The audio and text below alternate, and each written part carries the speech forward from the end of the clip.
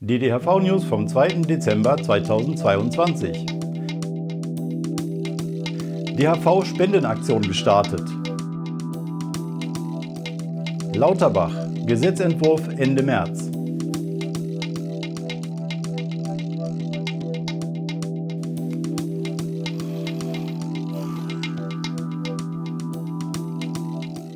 Herzlich willkommen bei den DHV News.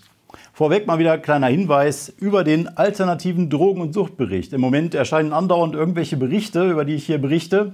Diesmal ist es dieser alternative Drogen- und Suchtbericht, der von alternativen Wissenschaftlern eingeführt wurde, um dem offiziellen Drogen- und Suchtbericht der Bundesregierung etwas entgegenzusetzen. All die Jahre der Mordlass und Ludwigs als Drogenbeauftragte mit einer CDU geführten Regierung, da war ein alternativer Drogenbericht dringend nötig.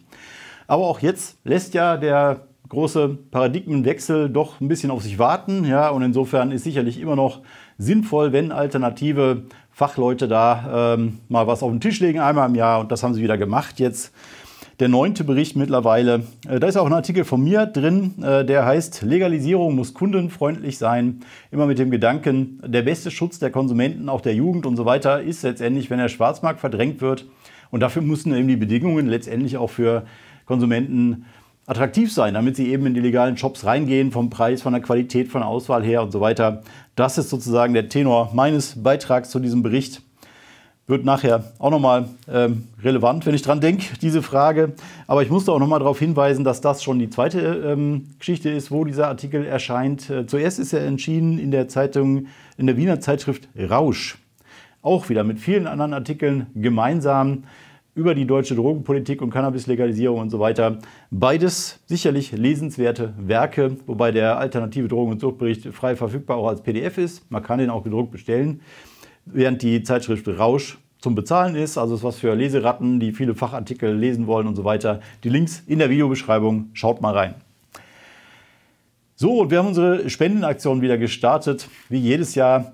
Diesmal ist es ein bisschen komplizierter, weil schwer vorhersehbar ist, was wir nächstes Jahr machen und ob unsere Pläne wirklich aufgehen. Wir würden gerne wieder den Weg weiter frei machen durch den Bundesrat. Für dieses Jahr sind ja schon zwei Bundesländer von der CDU befreit worden, sozusagen. Haben wir auch ein bisschen was dazu beigetragen mit unseren PR-Aktionen, mit eurer Hilfe aus der letzten Weihnachtsspendenaktion. Nächstes Jahr wird es ein bisschen komplizierter, weil ja irgendwie andauernd irgendwelche Lauterbach-Kapriolen sozusagen uns da rein gerätschen können, dass wieder irgendwie was ganz anders läuft, als man das sich eigentlich gedacht hat und so weiter. Aber umso, umso wichtiger ist, dass wir eben wirklich auch genug Kriegskasse haben, um auch spontan und massiv letztendlich auch mit PR-Macht sozusagen und auch mit Reichweite, mit gekaufter Reichweite letztendlich Einfluss gewinnen können äh, auf bestimmte Prozesse. Ja, insofern, ja, ich habe das alles mal genauer erklärt und auseinandergedröselt. Einerseits in einem extra Video hier im Kanal, ja, guckt euch das an, ich werde jetzt nicht alles wiederholen. Äh, und auch in einem Beitrag te textlich auf der DRV-Seite, wo ihr auch sehen könnt, welche Preise man wieder gewinnen kann als neues Fördermitglied des Handverbands und alle Spender ab 10 Euro. Zählen tun wir alle Spender in unserem Spendenbarometer, immer jeden Tag mit den Eingängen des Vortags. Und ich kann euch schon verkünden, wie es am ersten Tag gelaufen ist. Also gestern am 1. Dezember sind insgesamt 4.388 Euro schon eingegangen. Das haben mich schon 232 äh, Leute beteiligt. Großartige Zahl schon mal, ja, aber wir haben auch ein riesiges Spendenziel vor Augen. Letztes Jahr habt ihr insgesamt 180.000 Euro fast gespendet, ja, gewaltige Summe. Und traditionell ist immer dieses Vorjahresergebnis unser Ziel.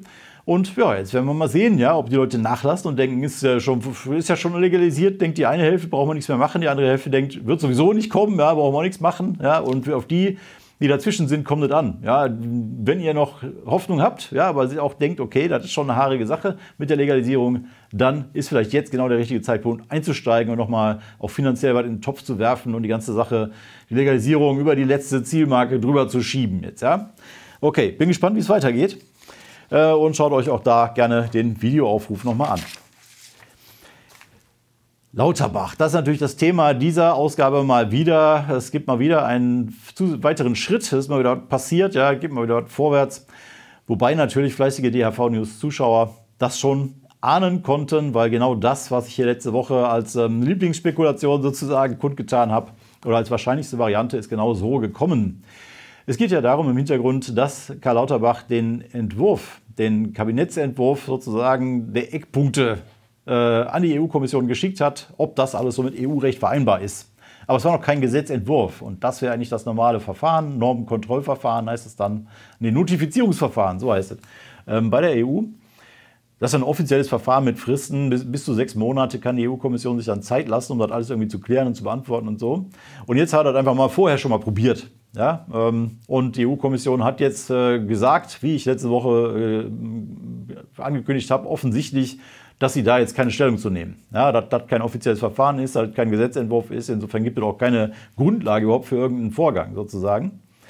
Ja, aber es gibt informelle Gespräche. Ja, und äh, ich habe auch gesagt, wenn es noch nicht mal irgendwie eine richtige Antwort gibt, sozusagen in der Richtung, ja, sondern eine informelle Absage oder informelle Ansage, wir brauchen einen Gesetzentwurf, ja, dann ist Lauterbach derjenige, der verkunden muss, okay, wir haben keine Antwort, ja, oder das ist die Antwort, dass wir die jetzt nicht kriegen, sondern dass die einen Gesetzentwurf haben wollen.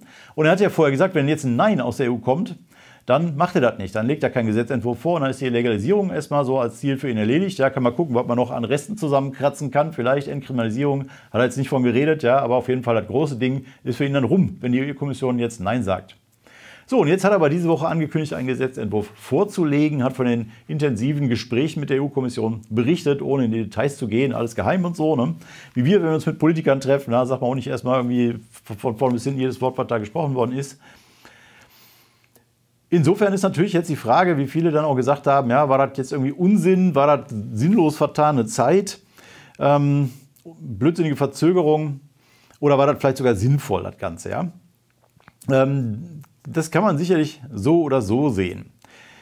Teil der Antwort ist ja, dass jetzt im Prinzip rauskommt, wir brauchen gute Argumente, um die EU-Kommission von dieser ganzen Geschichte zu überzeugen. Das ist an mehreren Stellen gefallen, das ähm, hört man überall sozusagen, ja, und das ist auch der Grund, warum Lauterbach sagt, er will jetzt ein Gutachten in Auftrag geben, warum eine Regulierung des Marktes besser ist für den Jugendschutz und Verbraucherschutz, Gesundheitsschutz der Bevölkerung, als eben das Verbot. Da hat er irgendwas erzählt von, von europäischen Wissenschaftlern, die sich damit schon ewig befassen, ja, die er beauftragen will, um das dann im Prinzip der EU-Kommission nochmal vorzulegen, ja, dass es eben eine bessere Regelung ist im Sinne der Ziele der Drogenvereinbarung der EU, nämlich Gesundheitsschutz und so weiter. Jetzt kann man natürlich sagen, ja, er hat keinerlei Antwort äh, gucken lassen, von wegen, wie die EU-Kommission reagiert. Jetzt könnte man sagen, die ist trotzdem komplett da, da, dagegen, ja, hat nur nicht äh, gesagt so, weil einfach noch kein offizielles Verfahren ist. Aber wenn er jetzt aber doch berichtet, oder ich auch aus anderen Gesprächen gehört habe, ja, diese, diese von wegen, die sind sehr skeptisch, die müssen wir erst überzeugen und so weiter, dann heißt das aber auch, dass sie letztendlich sich darauf einlassen, auf diesen Interpretationsansatz von Lauterbach wo eigentlich in diesen Verträgen drin steht, ja, der unerlaubte Anbau und so weiter ist als verboten, ja, das geht nicht mit dem Cannabis legalisieren. Ähm, aber im Sinne der Ziele, der ursprünglichen eigentlichen Ziele und des Zwecks dieser, dieser Vereinbarungen ist Gesundheitsschutz und so weiter, ist unsere Regelung besser. Ja, und wenn die jetzt nicht sagen, ja, das kann ja sein, dass das besser ist, das ist aber vollkommen egal, weil in den Verträgen steht drin, ihr dürft das nicht, na, dann hätten sie einfach sagen können, egal. Ne, wir hätten es auch nicht gesagt können, ihr müsst uns davon überzeugen, dass das eine bessere Regelung ist, wenn sie gesagt haben, geht sowieso am Ende nicht. Ja? Also, wenn die wirklich sagen, okay, bringt uns Argumente, liefert uns Argumente, dass das eine bessere Regelung ist, dann lassen die sich ein auf diesen Interpretationsansatz. Und das ist erstmal eine gute Nachricht. Und da könnte man vielleicht auch sagen, das war vielleicht gar nicht so blöd. Eine von den zwei großen Hürden, die das Ganze im Prinzip hat, die Legalisierung, nämlich EU-Kommission und Bundesrat, schon mal zu adressieren, schon mal ein bisschen anzupieken, schon mal zu gucken, in welche Richtung das geht und wie man damit eventuell umgehen kann, ist eine Strategie, die man wählen könnte. Ja, ich habe gesagt, ich hätte das jetzt nicht so gemacht. Ja, ich hätte erstmal einen Gesetzentwurf fertig gemacht, aber das ähm, ist auf jeden Fall jetzt kein Desaster geworden, würde ich jetzt mal so sagen. Und das erste Signal, dass sie jetzt weitermachen, ähm, ist nicht verkehrt. Die EU-Kommission hätte, wenn sie gewollt hätte, ihn auch komplett stoppen können und sagen können, ey, äh, das wird nichts. Das werden wir niemals irgendwie durchlassen. Ja, der macht das nicht. Und Herr Lauterbach hat ja vorher schon gesagt, er macht das nicht. Ja, also sie haben ihn nicht gestoppt. So, da muss man eben auch mal so sagen. Ähm, war jetzt eine unnötige Verzögerung oder eine blöde, also unangenehme oder schädliche Verzögerung? Jeder Tag Verzögerung ist natürlich schädlich, äh, wo weiter Cannabiskonsumenten äh, kriminalisiert werden. 500 jeden Tag neue Strafverfahren, ja, das ist natürlich jeder Tag schädlich. Aber gefährdet die Verzögerung am Ende auch den ganzen Prozess weil ja irgendwann auch die nächsten Wahlen kommen. Ja? Da muss man jetzt sagen, okay, das ist jetzt im Prinzip geklärt mit der EU, das hat jetzt einen Monat gedauert. Ähm, in der Zeit hätte ja im Ministerium weitergearbeitet werden können und Lauterbach hatte angesagt, dass er Ende des Jahres den Gesetzentwurf vorlegt. Und sie konnten weiterarbeiten, während die EU-Kommission da ein bisschen drauf rumgekaut hat. Also warum legt er jetzt nicht Ende des Jahres den Gesetzentwurf vor? Nein, er sagt, äh, er macht das Ende des ersten Quartals des kommenden Jahres. Ende Quartal 1 2023, was auf Ende März rausläuft. Ja, drei Monate Verzögerung, die jetzt auf einmal so aus dem Hut zaubert ja, und ansagt, die mit der EU-Kommission überhaupt nichts zu tun haben, weil das jetzt erledigt ist. Ja, das war nur ein Monat und die konnten weiterarbeiten ja in der Zeit. Äh, Lauterbach hat irgendwann erzählt, würde er nicht machen. Ja, vielleicht hat er sein Ministerium auch ausgebremst, einen Monat lang, aber kein Grund für drei Monate Verzögerung. Da gibt keine vernünftige Begründung dafür. Wieso jetzt auf einmal Ende März? Ja, und okay, drei Monate mehr Konsumentenverfolgung, ja, sinnlose Strafverfolgung harmloser Leute. Aber drei Monate wären ja noch verkraftbar, ja, was den ganzen Prozess angeht, um das überhaupt noch zu Ende zu kriegen in dieser Legislatur. Es kommt aber noch schlimmer. Jetzt zeigen wir euch mal einen Ausschnitt. Wenn alles gut läuft, könnte man dann mit einem Gesetzentwurf in der zweiten Hälfte des Jahres schon äh, den Bundestag konfrontieren. So, also halbes Jahr Verzögerung dann nach dem Kabinettsentwurf, ja, den er dem Kabinett, also äh, Bundeskanzler Scholz und seine ganzen Minister, das ist das Kabinett, ja, die Spitze der Regierung, die kriegen das vorgelegt und wenn die sagen, jawohl, das ist jetzt unser Entwurf, dann soll das Ganze an Brüssel gehen. Und ähm, jetzt fragt man sich, warum nicht gleichzeitig auch in die Beratung im Bundestag? Die einzige vernünftige Erklärung, wieso er sagt, ein halbes Jahr später den Bundestag damit konfrontieren, ist, dass er den ganzen äh, Prozess mit dem Notifizierungsverfahren der Europäischen Union abwarten will, bevor er das Ganze ins Parlament reingibt. Jetzt wäre viel sinnvoller, das sofort zu machen ja, und dann vielleicht noch ein paar Änderungen vorzunehmen am Ende der parlamentarischen Beratungen, die die EU vielleicht dann äh, reinwirft, ja, dass man das offen hält. Verabschieden kann man sich ja nicht innerhalb dieses Verfahrens, aber dass man dann am Ende nochmal anpasst und man hat über wesentlichen Grundzüge dann schon mal bis dahin diskutiert und dann ein halbes Jahr später in den Bundesrat da, zu gehen damit, ja, nach dem Beschluss des Bundestages. Das wäre viel sinnvoller irgendwie für mich und tatsächlich ähm, haben wir eine Spracherkennungssoftware mal drüber laufen oder die Spracherkennungssoftware von YouTube, ja, wo das äh, ganze Video auf, aufgezeichnet ist von der Pressekonferenz. Ähm, die hat da Bundesrat erkannt, ja, wo der angeblich wohl sagt, laut Spracherkennung, dass man im halben, halben Jahr den Bundesrat damit konfrontieren kann. Also hört mal genau hin, nochmal der Ausschnitt. Äh, den Bundestag konfrontieren. Bundestag, Bundestag, konfrontieren. Ja, also er faselt da ein bisschen rum, irgendwie schwer zu verstehen, aber ich denke, fürchte, er hat doch Bundestag gesagt, ja, wie das auch Medien verstanden haben und so. Er meint den Bundestag, das würde ich dann jetzt mal so annehmen, zumal er auch nicht widersprochen hat, irgendwie diesen Berichten, dass das eben so lange dauern soll. Jetzt stellt sich natürlich die Frage, darf das erst nach einem halben Jahr losgehen? Darf das Gesetz dann erst in den Bundestag rein ins Parlament, nachdem dieses Notifizierungsverfahren gelaufen ist? Da gibt es eine schöne Übersichtsseite der EU-Kommission, wo das auch schön auf Deutsch ähm, kurz erklärt wird, was überhaupt dieses Notifizierungsverfahren ist. Ich habe jetzt nicht komplett das ganze Kleingedruckte aus dem Vertrag gelesen, aber das, was da steht, demnach ähm, gibt es eine Stillhaltefrist, während dieses Notifizierungsverfahren läuft. Das sagt aber nur, dass der Mitgliedstaat in der Zeit die äh, entsprechende Vorschrift nicht annehmen kann. Also das heißt, die dürfen, Deutschland darf das nicht verabschieden in der Zeit, wo das Notifizierungsverfahren läuft. Aber das heißt nicht, dass es nicht beraten werden kann. Ja, also insofern ähm, ja, spricht eigentlich nichts dagegen, dass die, ganzen, dass die Bundestagsabgeordneten sich das Werk dann schon mal vornehmen ja, und dann schon mal ankreuzen, wo sie überall irgendwie Probleme mit haben, was sie gerne alles geändert hätten und so weiter. Einen äh, Änderungskatalog schon mal aufschreiben. Ja. Und bevor man das dann am Ende abstimmt und finalisiert, kann man immer noch mal gucken, ob das am Ende auch mit der Antwort der EU dann irgendwie kompatibel ist. Also das würde gehen, ja, gleichzeitig im Bundestag und dann stellt sich natürlich auch die Frage, ob der Bundestag das dann nicht einfach an sich nimmt, sozusagen, ja, und einfach, weil bekannt ist der Entwurf ja dann, der ist dann im Gesetz, äh, im Kabinett verabschiedet worden, das ist dann eben der Kabinettsentwurf, ja, und dann sitzen die Bundestagsabgeordneten da ein halbes Jahr rum, ja, und haben, kennen den Entwurf und sollen da nicht drüber reden. Ja, das ist dann die Frage, ob sie das mitmachen irgendwie, ob sie nicht dann trotzdem anfangen zu beraten. Äh, meiner Meinung nach wäre das absolut sinnvoll. Die Frage ist natürlich dann aber trotzdem, wenn jetzt äh, die EU den Kabinettsentwurf begutachtet und sagt, okay, der geht. Ja, und dann äh, ändert aber der Bundestag nochmal alles Mögliche daran. Muss das nicht dann nochmal in, den, äh, in den ganzen Prozess und von vorne anfangen, dieses ganze Notifizierungsverfahren? Und tatsächlich, die Seite, die ich gerade genannt habe, da steht, äh, die äh, Mitgliedstaaten sind verpflichtet, ähm, den Entwurf erneut zu notifizieren mit einer neuen Stillhaltefrist wenn an dem Entwurf wesentliche Änderungen vorgenommen werden, wie beispielsweise eine Vorverlegung des ursprünglichen Zeitpunkts für die Anwendung oder eine Erweiterung des Anwendungsbereichs. Das ist also natürlich schon eine schwierige Frage. Ja, wenn der Bundestag jetzt den Kabinettsentwurf an allen möglichen Ecken und Enden ändert, welche Änderungen sind dann so wesentlich, dass man das Ganze nochmal vorlegen muss und nochmal ein halbes Jahr abwarten muss, äh, ob das jetzt nun für die EU-Kommission in Ordnung ist oder nicht? Äh, und wieder ein halbes Jahr Verzögerung drin hat. Das könnte theoretisch passieren, ja, je nachdem, was man da ändert. Aber ähm, ich erinnere nochmal an mein äh, Interview auch mit Carmen Begge, wo wir diese Frage auch äh, hatten. Ja, und Carmen Begge sagt, okay, was soll, soll denn da passieren? Ja, selbst die großen Sachen, die wir da ändern wollen, wenn die EU einmal sagt, grundsätzlich geht das mit der Legalisierung, mit dem legalen Verkauf und regulierten Fachgeschäften Fach, Fach, äh, und so weiter. Was soll denn dann noch passieren? Ja, es geht ja nur um diese eine grundsätzliche Frage. Wenn man jetzt die Cannabis Social Clubs zum Beispiel noch einfügt, die ja im äh, Entwurf der Regierung bisher nicht drin sind, in Eckpunkten. Ja, noch ist es ja kein Gesetzentwurf. Da steht nichts von äh, Anbauclubs. Wenn man die jetzt noch mit reinnimmt, Cannabis Social Clubs, die sind ja vollkommen in Ordnung. Ja, das, ähm, da hat die EU ja nichts gegen, das ist in Malta ja auch so. Da hat die EU bei Malta nicht gemeckert, dass es da jetzt per Gesetz legale Anbauclubs gibt. Ähm, also kann man das auch in Deutschland machen. Ja, da müsste schon, müssen wir schon ganz schön viel irgendwie hart dran rumschrauben, dass das nochmal ein Notifizierungsverfahren braucht. Eher unwahrscheinlich. Und man kann natürlich dann auch ein bisschen nach der ersten Reaktion der EU gucken, ne, haben die irgendwelche Vorgaben nochmal, die wir beachten müssen im parlamentarischen Verfahren.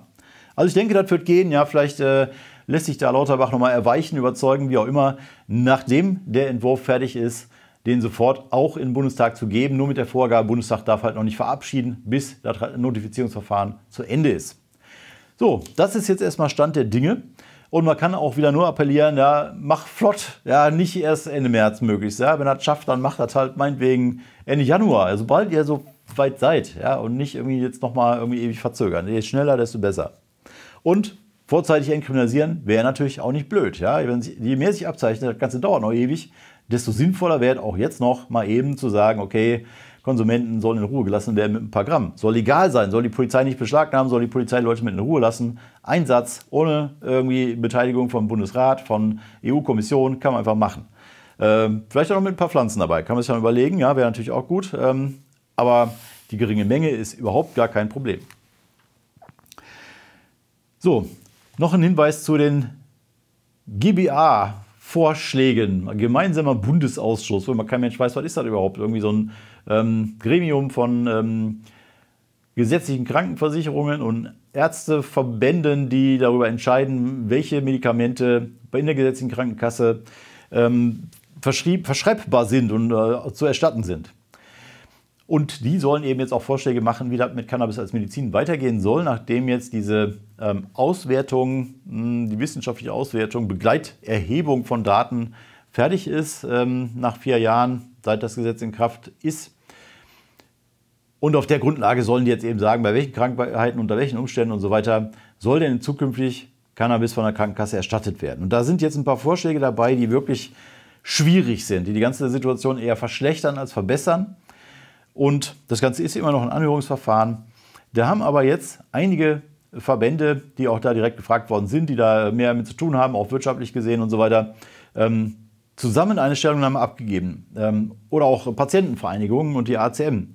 Der Branchenverband BVCW, ACM und SCM ähm, sind dabei, aber noch äh, diverse andere, die gemeinsam eine Stellungnahme gebracht haben jetzt diese Woche.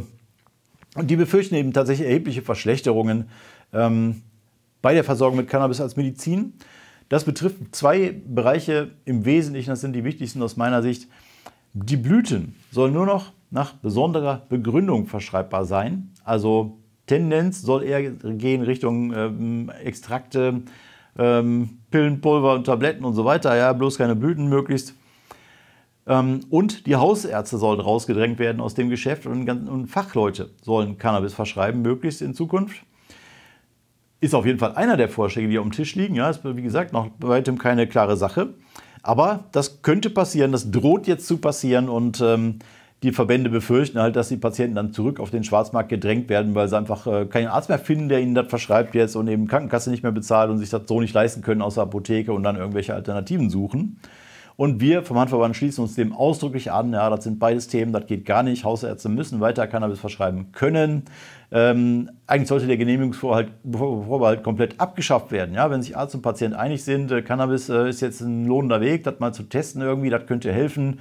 Ähm, das ähm, hilft dem Patienten und hat weniger Nebenwirkungen als alle möglichen anderen äh, Medikamente, dann sollen die das machen dürfen. Ja? Dann soll die Krankenkasse das auch bezahlen. Fertig. Ja? Das wäre im Prinzip äh, unsere äh, Meinung dazu. Und äh, was hier jetzt äh, droht, ist ein Rückschritt, der so nicht geht. Am Ende wird das ähm, Gesundheitsministerium darüber entscheiden, über diese Vorschläge von diesem GBA, gemeinsamen Bundesausschuss. Und ich hoffe, spätestens da werden diese Sachen gestoppt, wenn die nicht nach diesem Anhörungsverfahren jetzt von sich aus schon sagen, okay, diese harte Variante würdet er nicht. Noch eine schöne Nachricht zum Schluss. In den Eckpunkten der Regierung, die ich jetzt schon mehrfach ja erwähnt habe, ähm, steht ja auch drin, dass die Bundesländer ihre Möglichkeiten ausschöpfen sollen mit über die geringe Menge Verordnung 31a BTMG, Einstellung der Verfahren wegen geringer Mengen, ihre Möglichkeiten ausreizen sollen, weil ja eben die schnelle Entkriminalisierung vom Bund nicht kommt, was viel sinnvoller wäre, ja, irgendwie das da zu machen. Aber die Bundesregierung sagt hat, wir machen das alles in einem Aufwasch, in einem Guss. Ähm, und das heißt, die Kriminalisierung geht weiter. Hunderttausende Strafverfahren werden noch ins Land gehen gegen Cannabiskonsumenten ohne Händler. Ja, 180.000 Strafverfahren im Jahr hatten wir jetzt ein paar Jahre wegen konsumbezogener Cannabisdelikte und das geht jetzt einmal so weiter. Ähm, und in den Eckpunkten steht, die Bundesländer sollen auch die ganzen Verfahren einstellen, möglichst. Ja? Ähm, wir hatten vor der Sommerpause auch schon Briefe geschrieben an alle Landesjustizminister, dass sie genau das tun sollen. Ja? Also ihre Möglichkeiten ausschöpfen, die Menge anheben, alle Verfahren einstellen, äh, egal ob Wiederholungstäter oder nicht. Das war erstmal er erfolglos, ja? die haben alle abgelehnt. Aber dann kam äh, Niedersachsen äh, nach der Wahl, äh, neuer Koalitionsvertrag und da steht jetzt auch drin, Sie wollen genau das tun, geringe Menge Verordnung ändern. Wird jetzt Zeit, das angehen. Ja. Haben wir auch schon einen Brief hingeschrieben, wann geht es los? Ja, unsere Vorschläge sind die und die. Mal gucken. Äh, ich hoffe, es geht schnell. Auf jeden Fall tut sich da jetzt was. Das erste Bundesland hat entschieden, das tun zu wollen. Und jetzt Mecklenburg-Vorpommern stellen die Grünen eben auch so einen Antrag und sagen, die geringe Menge soll auf 20 Gramm angehoben werden. Analog eben zu dem ähm, Eckpunkten der Regierung, wo er jetzt im Moment drin steht, 20 bis 30 Gramm sollen eine Höchstbesitzmenge in der Öffentlichkeit sein. Cannabis haben sie noch nicht entschieden, ob 20 oder 30 und die sagen, ja gut, 20 also mindestens, ja, dann lass doch ein MacPom schon mal so weit gehen, dass wir bis 20 Gramm die ganzen Verfahren einstellen. Wenn wir sie schon eröffnen müssen, schwachsinnigerweise, ja, da kommen sie nicht drum herum, aber alle einstellen und auch in Wiederholungsfällen. Guter Antrag der Grünen in MacPom sauber formuliert. Wir möchten ähm, empfehlen, alle reformorientierten Landespolitiker, Mitarbeiter und so weiter, MDLs, Mitglieder der Landtage, guckt euch das Ding mal an, äh, diese, diesen Antrag der Grünen in MacPom. Macht es nach, ja, möglichst rigorose Einstellungspraxis, bis Lauterbach mal fertig ist mit seinem Legalisierungsgesetz. Ihr müsst nicht ewig warten, ihr könnt handeln. Ja, das ist die Message, die da aus MacPom kommt. Und es ist auch schade eigentlich, dass das da von den äh, Grünen in Opposition überhaupt kommen muss. Denn Mecklenburg-Vorpommern ist rot-rot regiert. Also SPD, Linke zusammen. Ja, da sollte eigentlich selbstverständlich sein, dass man das jetzt macht. Die sollten Feuer und Flamme sein für die Legalisierung und hoffen, dass es so schnell wie möglich kommt. Und bis dahin so viele Verfahren wie möglich einstellen. Aber genau das Gegenteil ist der Fall. MacPom ist eines der richtig repressiven Bundesländer noch. Die haben gar keine vernünftige geringe Menge Regelung, ähm, auch nicht bis 6 Gramm. Die legen immer noch Wert darauf, jeden Einzelfall genau zu betrachten ja, und nochmal zu gucken, ob dem Richter die Nase passt oder dem Staatsanwalt und gucken, ob man einstellt oder nicht. Geht gar nicht klar. Ja, MacPom muss da vorwärts kommen. Gute Aktion von den Grünen. Und ich würde sagen, Schwesig am Zug in dem Fall. Damit sind wir bei den Terminen. Bis auf eine alles Ortsgruppentermine. Die für heute Abend habe ich gleich weggelassen, weil wir wieder spät dran sind. Ja, Freitagabend, das wird nichts mehr rechtzeitig. Aber Montag haben wir dann in Heidelberg eine Teamsitzung des Handverbands Rhein-Neckar. Dann Dienstag, 6. Dezember bis Mittwoch, 7. Dezember die Cannabis nochmal erwähnt äh, in Freiburg. Da bin ich auch dabei als Referent. Die Tickets kosten ein bisschen was, ist eher businessorientiert. Aber ja, mal im Süden so eine größere Konferenz in Sachen Cannabis und Business. Dann die Ortsgruppe in Halle, ein Treffen am 7. Dezember, Hamburg, 8. Dezember, eine Halle nochmal eine Kundgebung, Samstag, 10. Dezember zum Tag der Menschenrechte, auch von der Ortsgruppe gemacht. Darmstadt macht einen Infostand, die DHV-Ortsgruppe auch Samstag, 10. Dezember. Das gleiche in Traunstein beim Weihnachtsmarkt. Und dann haben wir noch ein Treffen unserer Gruppe in Magdeburg, Donnerstag, 15. Dezember. Das war's. Abonniert den Kanal, drückt die Glocke, liked dieses Video und ich wünsche euch noch einen schönen Tag und einen geruhsamen Abend.